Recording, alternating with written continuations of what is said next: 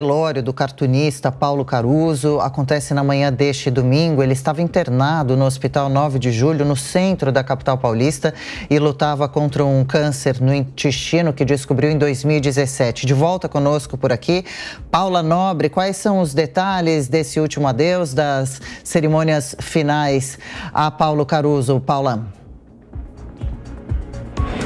É isso mesmo, Adriana. O corpo do grande cartunista brasileiro Paulo Caruso será velado na manhã deste domingo. Ele que estava internado no hospital 9 de julho, faleceu na manhã deste sábado ontem, vítima de um câncer na região do intestino, como você bem disse. Então, na manhã de hoje será velado o corpo de Paulo Caruso na manhã de hoje. Falando resumidamente um pouco sobre a vida dele, eu vi que vocês falaram um pouquinho, mas resumindo um pouquinho mais, começou sua carreira na década de 60, colaborou em jornais como a Folha, participou do Roda Vida desde a década de 80, inclusive fez sua última aparição no dia 2 de janeiro deste ano. Participou aí de centenas, fez centenas de charges em jornais e revistas, ganhou prêmios como o melhor desenhista em 94 pela PCA.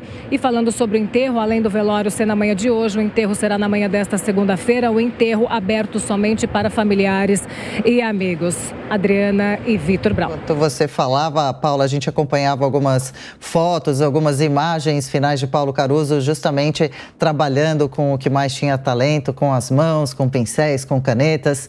Enfim, esse adeus então neste domingo a Paulo Caruso. Valeu, Paula Nobre, bom domingo para você também. Boa semana, a gente se vê de novo no Jornal da Manhã por aqui amanhã. Brown.